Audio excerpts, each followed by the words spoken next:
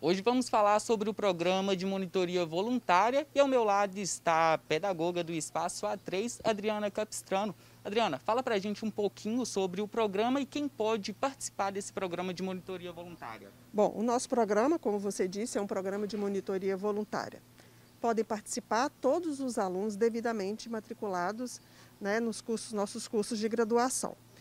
É uma experiência muito importante ser monitor, né? porque ele efetivamente participa da elaboração das atividades práticas e orienta as, os alunos ali na execução dessas atividades.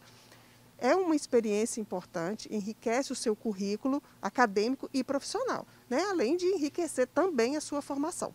E como que vai ser o critério de avaliação? Como que vai ser avaliado esses monitores para entrar no programa? Você está falando do processo de seleção? Isso. Bom, o processo de seleção dos monitores é feito pela coordenação dos cursos e do professor da disciplina ofertada. Então, ó, fique ligados porque o prazo de inscrição abre amanhã, dia 27 de outubro, e vai até o dia 3 de novembro. Fique ligado e faça parte desse programa de monitoria voluntária.